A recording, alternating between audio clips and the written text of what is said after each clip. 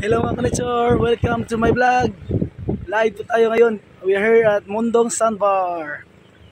So dito po tayo ngayon, mamasyal po tayo.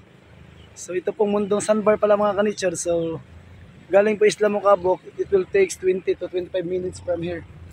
So dito po tayo ngayon mga kanitsor. Nagmamasyal po tayo. Pero hindi po tayo nag-iisa mga kanitsor. Meron po tayong kasama ngayon.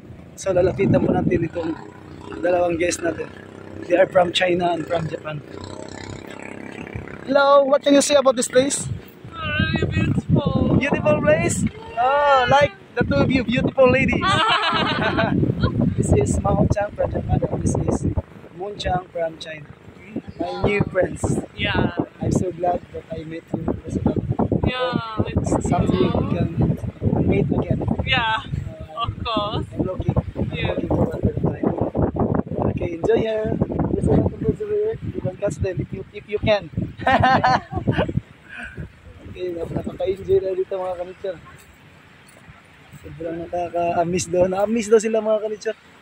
So, ganito po kaganda yung lugar mga kanitsar pag walang basura. Sobrang ganda talaga mga kanitsar as in so far. So, kayo mga kanitsar dyan, sa mga friends ko dyan, all over the world, wherever you are, from America, Texas, Japan, UAE, or kahit saan kayo sa sulok ng mundo ito. If you like to visit here in Philippines, include Mukabuk at your bucket list. Kasi po, maganda po isla Mukabuk mga kanitsor. Tapos ito rin Mundong Sandbar. Papasyalan natin ito mga kanitsor. Kung sakali man pupunta kayo ng Bohol, so i-include nyo po dahil maganda po talaga dito. Meron pa kayo akong i-surprise sa inyo mga kanitsor. Marami po mga ibon na mga kanitsor. Sobrang dami. So lapitan natin yung mga ibon.